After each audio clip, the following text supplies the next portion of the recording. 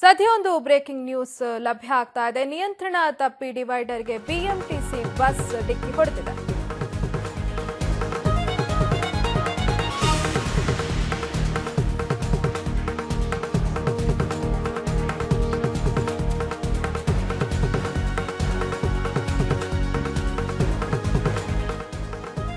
ನಿಯಂತ್ರಣ ತಪ್ಪಿ ಡಿವೈಡರ್ಗೆ BMTC bus ಡಿಕ್ಕಿ ಹೊಡೆದಂತಹ ಘಟನೆ ಕಸ್ತೂರ್ಬಾ ರಸ್ತೆಯಲ್ಲಿ ನಡೆದಿದೆ. ಶಿವಾಜಿನಗರದಿಂದ ಕೆಆರ್ ಮಾರುಕಟ್ಟೆಗೆ ತೆರಳ್ತಾ ಇದ್ದಂತಹ ಬಸ್ ಏಕಾಏಕಿ ವಿಶ್ವೇಶ್ವರಯ್ಯ ಮ್ಯೂಸಿಯಂ ಕಡೆ ನುಗ್ಗಿದೆ.